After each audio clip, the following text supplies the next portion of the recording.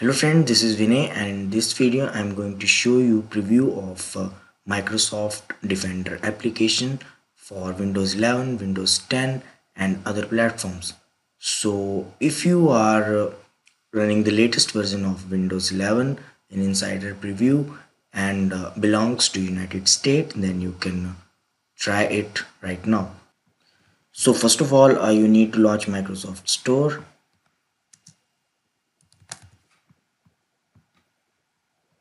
and search Microsoft Defender preview if uh, the application didn't appear in the search results then you can use the alternate method. And for that you need to launch your default web browser and uh, you need to copy paste this link. I have already added the link in the description now here uh, you need to click on this get button. Now in this dialog box you need to click open. Now this will open the Microsoft Defender preview application uh, within the Microsoft uh, Store application. Now here uh, you need to click on this uh, install button. And this will uh, start downloading the application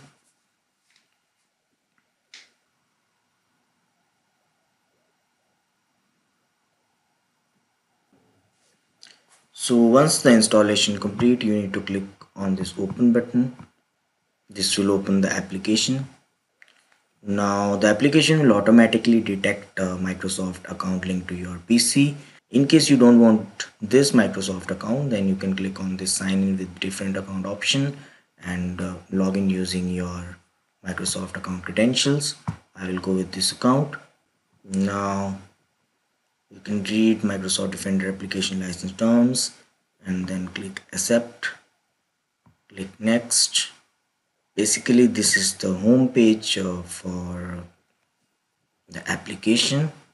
Now you can see that this device is not fully protected and uh, if I click on this device detail option you will get more information about device. You can see that last threat scan timing uh, file scanned threat found. Apart from that you can see that virus and threat protection setting not fully protected. Virus and threat protection update no updates available. Ransomware protection no action needed. Uh, security history now if you click here you will see no notification or history here. Now apart from that you will find this security setting option if you click on this manage in windows security button this will uh, launch the regular windows security application uh, where you can find more details about your device.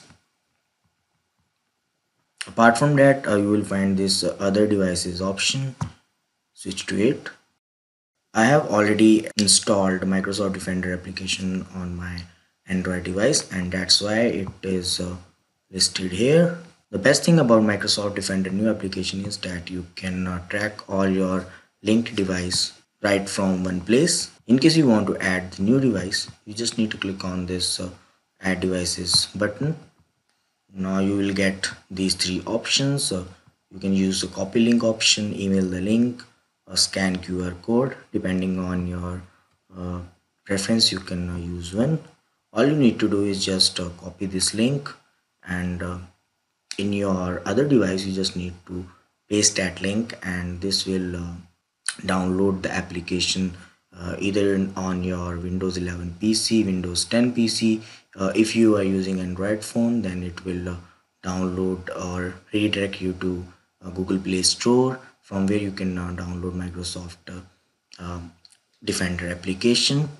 I will show you how microsoft defender application looks like in Android mobile.